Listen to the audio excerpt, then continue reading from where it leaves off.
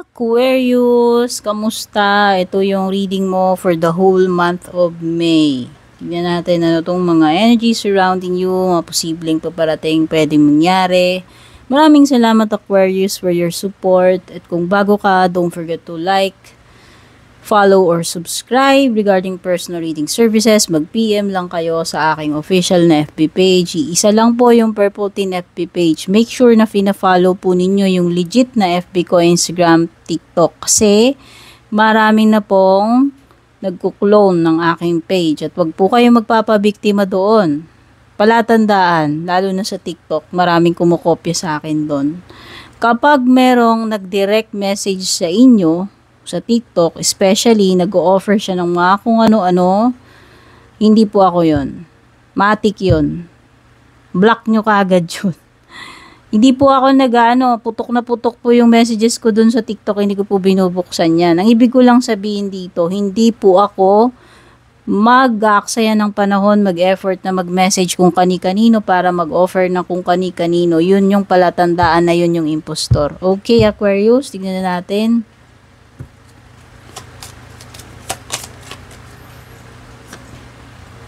Unang card mo, star card. Ganda, no? Next ay moon. Third ay bouquet. Oh, meron bang debut? Meron bang kasal? Meron ka bang nililigawan or manliligaw? Wow, gaganda naman ng cards mo, dear. Dito sa iyong first row, wala akong nakitang nega. Unang-una, meron kang magre-receive na magandang bagay ngayong May kasi ayan yung star card. There is happiness, fulfillment, or wish come true.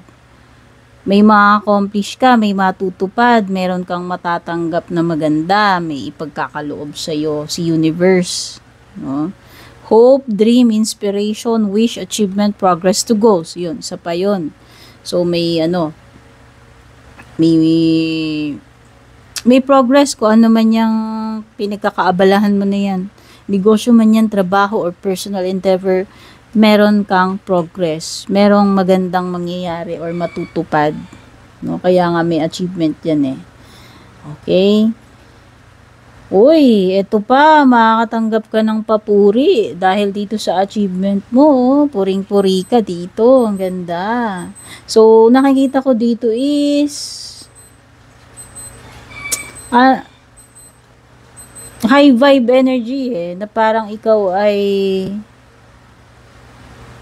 um, in ecstasy. Sabihin na natin dahil dito sa magagandang may experience mo. No? Na, yan, no? Meron ditong ano. Pwedeng may mga ano ha, mga feelings dito na ano, may emotional situation, sabihin na natin, may mga may mga mga times na ikaw ay sabihin na natin minsan ah, highs and lows. Minsan parang ang taas-taas ng ng vibe mo na may mga time naman na parang very low depressed sad.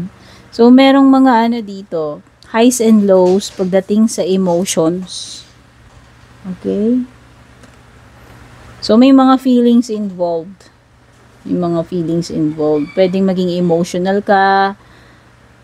Minsan naman parang very inspired, ang saya-saya mo. May marireceive ka talaga maganda, promise. Ayan yung bouquet, ayan o. Oh. Lalo na, sumama pa yung clover. So, ang nakikita ko dito are opportunities, mga magagandang pagkakataon, swerte, happiness, and success. O, oh, hope ito, mabibigyan kayo ng hope. Mm. Ibig sabihin, mabubuhayan kayo ng loob. Hindi maalis yung ano ninyo, yung yung determinasyon ninyo. Oh, wag kang mag-give up kasi ang gaganda ng cards mo ngayong May meron at meron matutupad dito mangyayari na, na gustong gusto mo mangyari. Okay? Tignan na natin yung iba pang cards to. Tignan natin yung ano mo, relationship mo, Aquarius.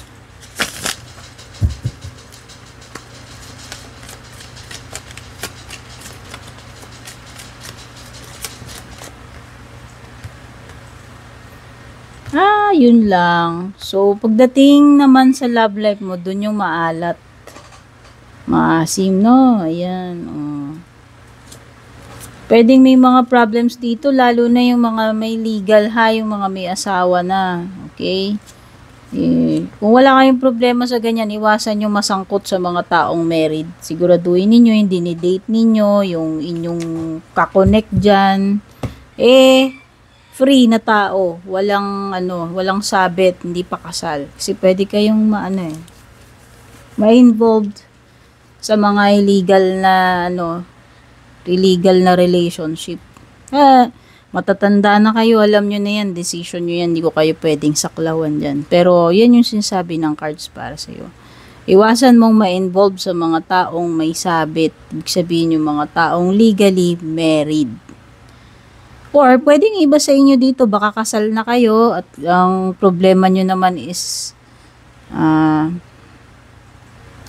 may mga worries, anxiety dito eh. Hindi ko alam kung anong pinagmumulan yan dito sa asawa mo kung may asawa ka na. Aquarius. Hindi ko alam kung siya ba yung masyadong nag-aalala para sa'yo o ikaw yung masyadong nag-aalala para sa kanya. Na-involve ba itong person mo or asawa mo sa isang kaso? Meron bang mga legal matters dito na nangyayari na yun yung nagiging problema ninyong dalawa? Ayan. Pwedeng may mga ganyan. Pwedeng hindi naman kayong dalawang mag-asawa yung nagkakaproblema kundi merong involvement itong asawa mo or ikaw na pwedeng may mga kaso-kaso. Okay? At yun yung sigurong pinag-aalala mo or pinag-aalala niya. Or both of you. Di ko alam eh. No? So, nakikita ko dito, may honesty dito. Mas maganda na lang masabihin mo yung totoo dito sa person na to. Magpakatotoo, maging honest. Sabihin kung ano talaga yung yung totoo lang. O, pwedeng ito ay pag-amin. Pwedeng yan, pwedeng may confession dito, aamin, sasabihin yung totoo. Or, meron matutuklasan na truth darating yung truth eh, darating at darating eh.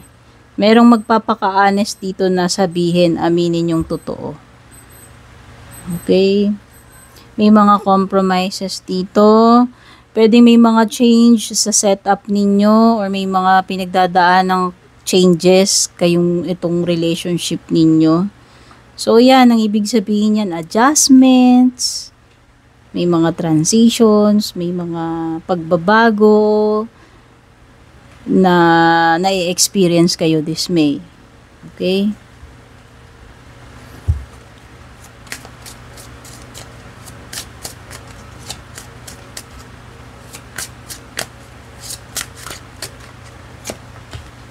Sun card, huwag ka mag-alala. Andyan yung sun card. Ganda talaga.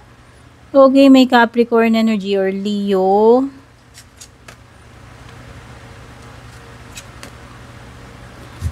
Okay. Alam mo, dalawang cards mo dito yung may timbangan. So, may mga legal matters. Malakas yung energy na legal matters dito. Yung iba bayad utang. Ibig sabihin, kung ano kinuha mo, yun din yung dapat mong ibalik. Sisingilin ka rin doon. Parang karma card eh.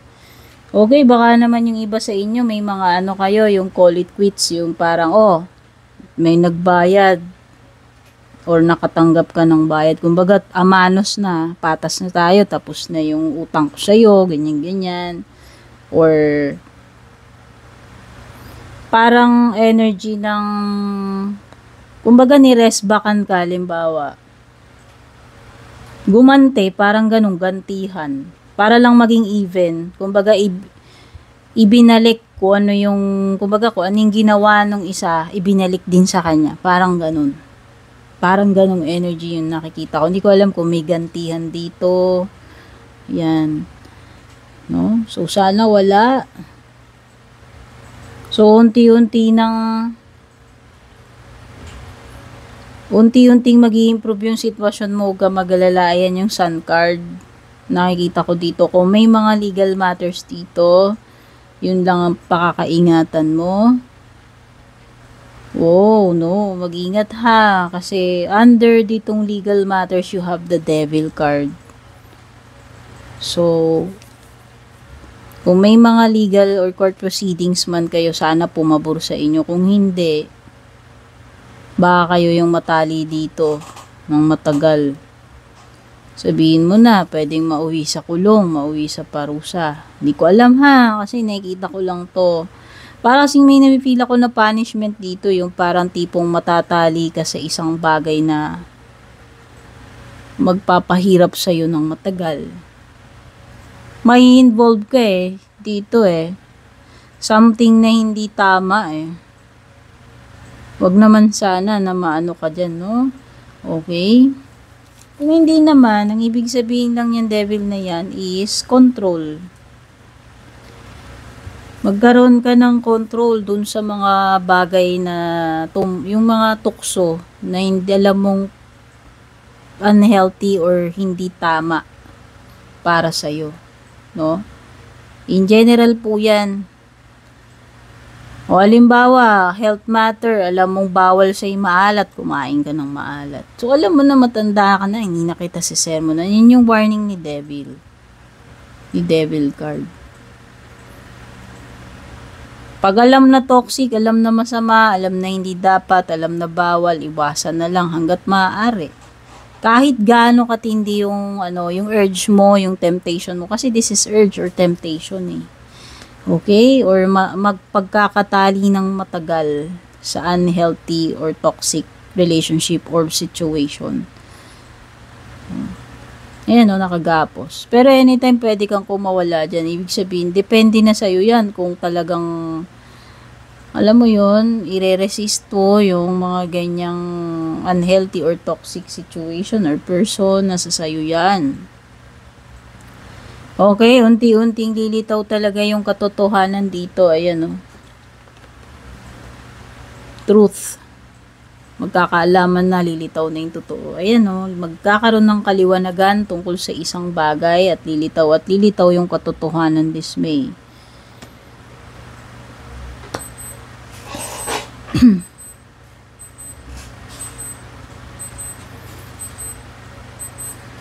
Uy, kailangan mong depensahan yung sarili mo pero parang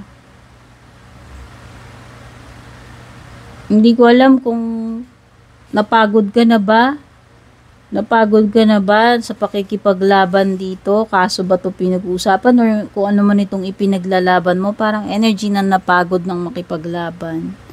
So, basta wag kang mag-quit. Parang energy na magki-quit na eh. Hindi ko alam kung napagod na dito. Okay, kung ano man niya ipinaglalaban na yan.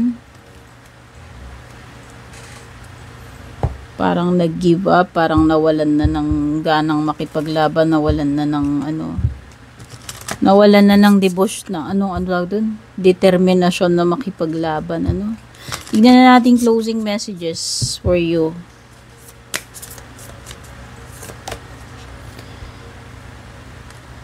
Ay, labas na labas yan. May mga bagay, daming mga signs na katanggap nito. Ano ba dapat mo i-let go? O, ito yun eh, devil card. Meron kang hindi mabitiw-bitiwan dito, tao, relationship, o kung ano man yan, bisyo, etc. etc. I-release mo na yan. Wala talagang mapapalang mabuti dito. Kung hindi ka pa nagigising, dapat magising ka na rito. I-release na yung dapat i-release kasi yan ay lason para sa iyo kasi toxic nga eh, 'di ba? Hindi makakabuti. Wala kang walang mangyayaring mahihita diyan. Walang mag walang mangyayari. Walang magandang mahihita dito. I-release mo na 'yung dapat mong i-release. Ayan, may Aquarius energy. Ikaw, ikaw or another Aquarius, no? Bring love into the situation. Mas piliin yung pagiging ano, mas piliin mo na lang yung pagmamahal over anger, over over pride, etc. So, ito yung time na mas paiiralin natin yung pag-unawa natin, mas pipiliin natin yung love kesa sa war. okay, yun yung feel ko eh. Surrender to the divine. Ayan, ito na. Release ang dapat i-release. I-surrender yung mga bagay na wala kang control. May mga dapat ka nang bitiwan. I-release. Tapos meron kang dapat i-surrender sa divine. Take care and God bless Aquarius.